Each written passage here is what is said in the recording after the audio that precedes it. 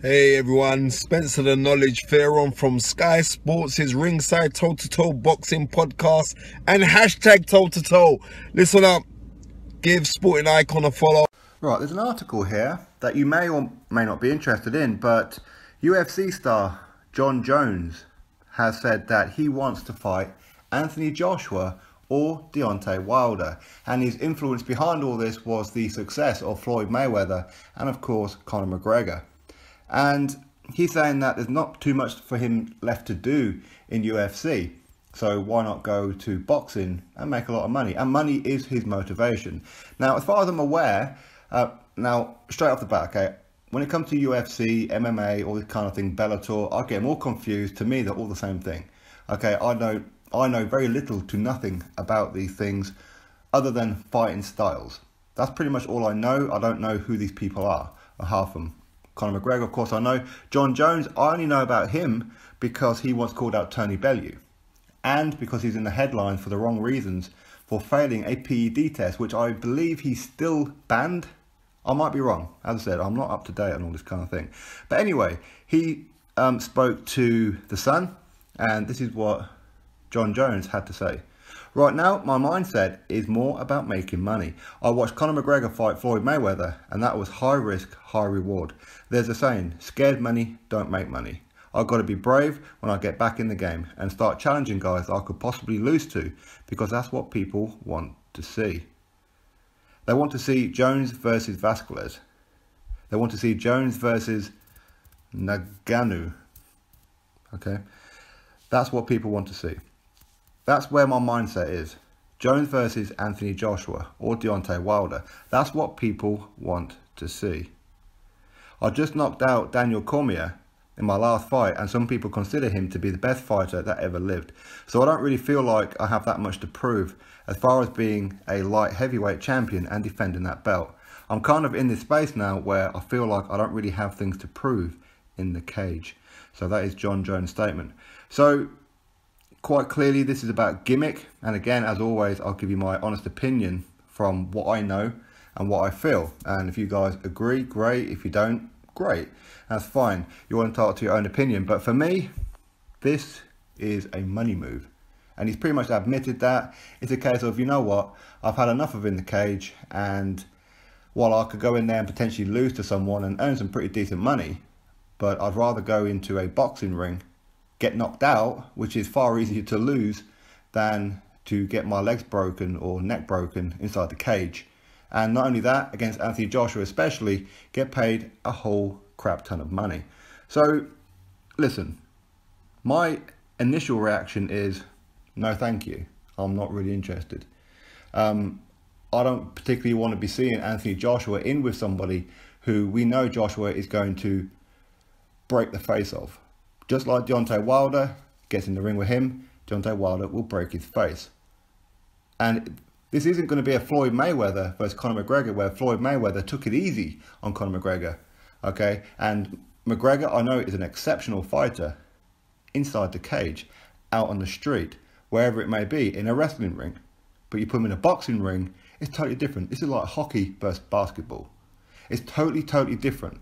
Now, there may be a few exceptions out there, who's currently within the UFC and who may be able to transition to boxing and be very, very successful. I mean, Lucas Browne was one of them.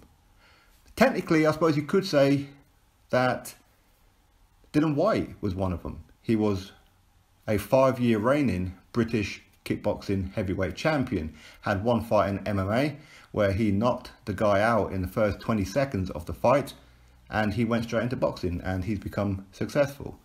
Of course, he's got a kickboxing background. As I said, Jarrell Miller's got a kickboxing background. Vitali Klitschko has a kickboxing background. So I'm not saying you have to start off young just doing boxing, but you need a boxing background of some kind.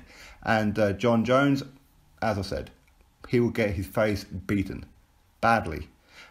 Much like if you put Joshua in the cage with Jon Jones, you put Wilder in the cage with Jon Jones, Jon Jones would break every bone in their body but you put him in the boxing ring, it's totally different. It's totally different. I don't, listen, I don't mind the occasional gimmick here and there. A Conor McGregor versus Floyd Mayweather, that was always going to sell. It was a novelty act. It was a circus act. And it was a blatant, give me your money. That's what it was. And people knew that and people still paid. But is Jon Jones a huge star in UFC? Maybe. I have no idea. Would this do good numbers? Maybe. I have no idea. But for me, I think that uh, there comes a point where you have to look at the safety of certain fighters. Because Floyd Mayweather versus Conor McGregor, okay? Floyd Mayweather hasn't been a knockout artist for many years, okay? And he played with Conor McGregor, okay? Just teed off him, tied him down, broke him down, and when Conor McGregor just gassed, that's when Floyd stepped up a bit and the referee put a stop to it. So Conor McGregor didn't really get hurt too much in that fight. But if you put somebody in with a heavyweight who will knock you spark out, that's a dangerous move. Dangerous move.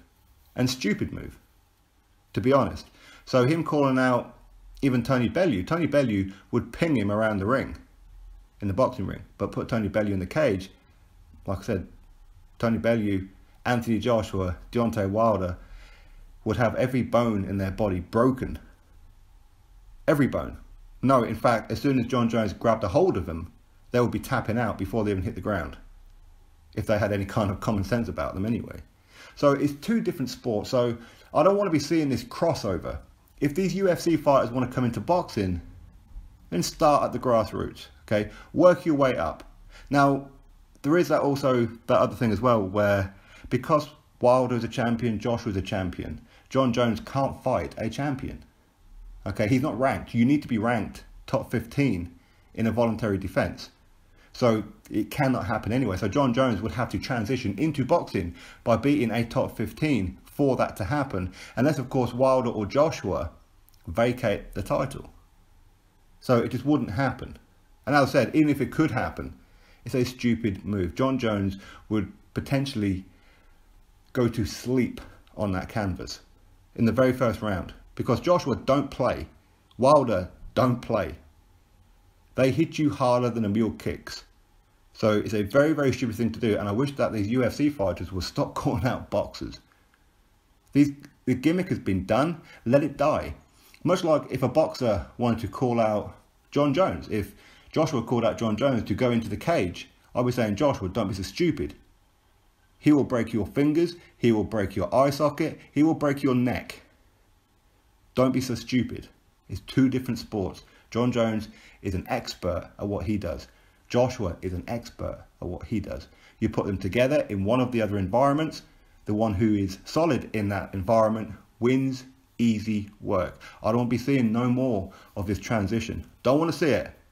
Whoever is managing or advising Jon Jones or any of these UFC fighters, tell them to shut up. Anybody who's a boxer and wants to go into UFC, again, start at the bottom. Learn your craft. You don't get in there with the beast. You just don't do it. Anyway, that's my thoughts. Of course, I'm not an expert on UFC, MMA at all. And I know many of you guys will be. So many of you guys will probably look at, say, Jon Jones, say, well, he has a good boxing pedigree and he could transition and he could legitimately give Joshua or Wilder problems. Personally, I think if the likes of Povetkin, Luis Ortiz, and Vladimir Klitschko, who's been doing it all these years, couldn't give these people like Joshua and Wilder, couldn't beat them, then what the hell hope has Jon Jones got? Or anyone. And I know that Deontay Wilder, he called out Brock Lesnar about a year or so ago. Just pure stupidity. Pure stupidity. Anyway, that's my thoughts. Of course, you let me know yours. As I said, maybe you guys will know a lot more about this kind of thing than what I do. Um, I only believe that that they are totally different sports. I know they're both combat. I know they are. And Jon Jones could probably transition into WWE if he wanted to to go down that route of making money. And to be honest, he'd probably make more money in the WWE. Because in boxing, he's got to rely on one event where he's going to get embarrassed of being asleep on the canvas. But how many people would actually want to see it anyway? Unless, of course, Jon Jones is really disliked or really popular in UFC. Again, fans are just not going to be interested at all. I mean, is there literally anybody out there who believes that Jon Jones could get in the ring with Wilder or Anthony Joshua and serious, of course? Not because you're an Anthony Joshua hater or, an, or Deontay Wilder hater, but do you honestly believe that Ben Jones or any UFC fighter can get in the ring with a fighter, with um, Joshua, and win? Or even go a couple of rounds? Let's, let me put another question to you. Could any top elite UFC fighter get in the ring at their fighting weight in boxing against any other fighter of the same weight who is an elite boxer and beat him? I don't think so. But as I said, I'm not an expert. Maybe you guys are. Drop your thoughts below about it, click that thumbs up and subscribe. Catch you all on the next video.